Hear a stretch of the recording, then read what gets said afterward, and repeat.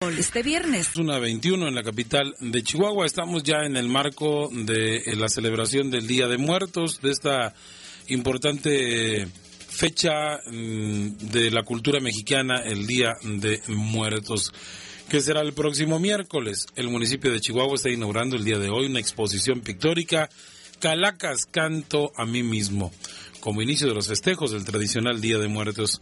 Este evento tendrá lugar eh, hoy a las 7 de la tarde en el Museo Casa Siglo XIX, que está en la Avenida Juárez, en el centro de la ciudad.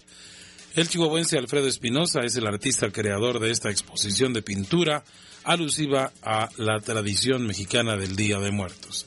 Cabe señalar que la entrada al evento es gratuita y estarán presentes autoridades municipales y entre otros invitados especiales.